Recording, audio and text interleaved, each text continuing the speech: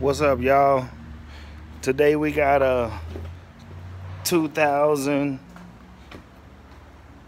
Pontiac Firebird, and I'm gonna use my steamer to get this off.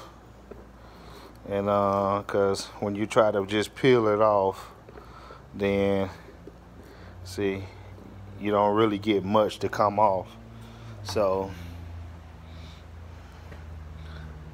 take all this off, all this off right here, take all this off. This off.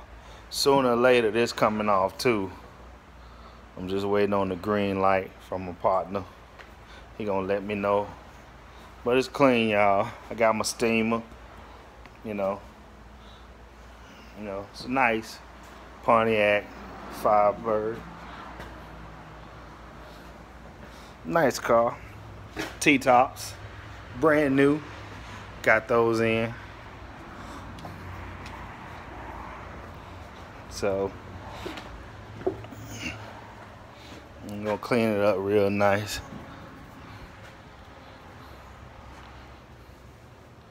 Nice car. Nice sport car.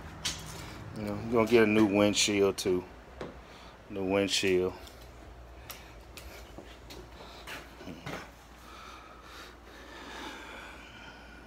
Know, light, a little light, something real light, you know.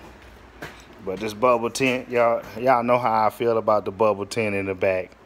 It gotta go. Uh-oh. Little steam. She getting ready, y'all. So I'm gonna start on getting this tape off of here.